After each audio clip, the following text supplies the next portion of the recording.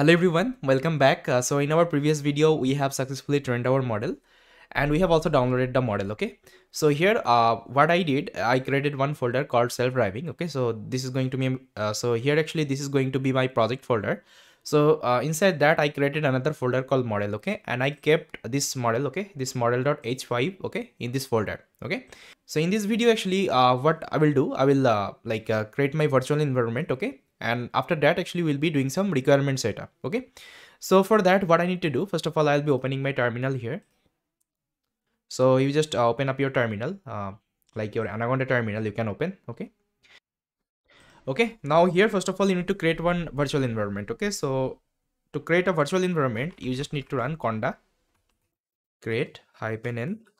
Just uh, give your name uh, environment uh, just give your uh, environment name here. So i'll just give uh, let's give car okay? Car and i'll just define python version. So python equal uh, 3.7 okay? So i'll be taking 3.7 and hyphen y. So i think yeah that's it. Uh, conda create hyphen n uh, car python uh, okay. Now if i press enter so it will start creating my uh, virtual environment okay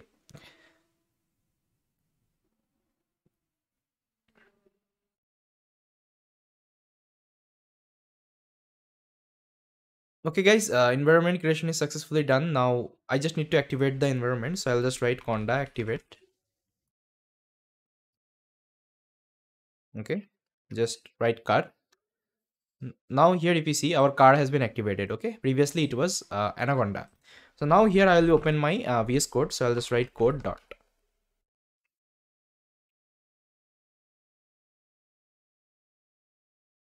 Okay, now here first of all, uh, I will create one file called requirement.txt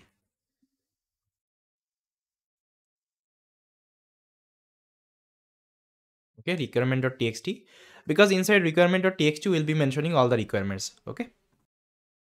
Now guys uh, these are the requirement actually you need to install okay? Uh, like uh, uh to create our uh, like you can say application. So uh, here first of all i am like installing the opencv okay? Then numpy matplotlib tensorflow keras uh, python socket io okay this package i'll be using to connect with my udacity simulator okay?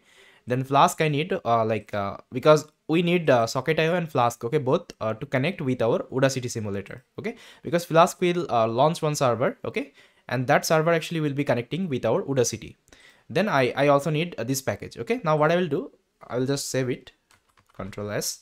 Now i'll open my terminal and i'll just write pip install hyphen r requirement.txt okay? So it will uh, install all the requirements one by one. Okay? So it may take some time uh, so let's wait. So when it will get over so i'll come back. So yeah guys you can see uh, requirement uh, installation is done.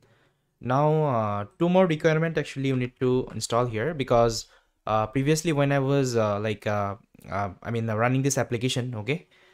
So i was getting some socket issue okay?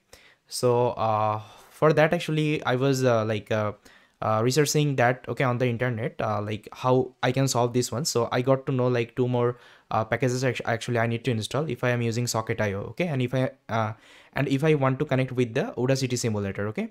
So let me quickly show you this two, two command so guys, uh, the first command you need to run this one like pip install python uh, engine engine.io. Okay, uh, this is the version. So this specific version actually you need to install. Okay, I will uh, give all the command. Okay, now I will uh, sh share all the code. Uh, okay, in my GitHub, you will get everything. Okay, so let's uh, install this one first of all. Okay, it has been installed successfully. Then I need to install the second one. So this is the command to install your socket IO and this is the specific version okay? Now let's execute. Okay guys it's done. Now i think uh, we are good to go. So i think yeah all the installation we have uh, successfully uh, like uh, done okay? So in our next video itself actually we'll be starting writing our drive.py okay? Then actually we'll be connecting with our code uh, and uh, we'll be doing the prediction okay? Prediction of our model so yes guys uh, this is all about from this video. So thank you so much for watching this video and i will see you next time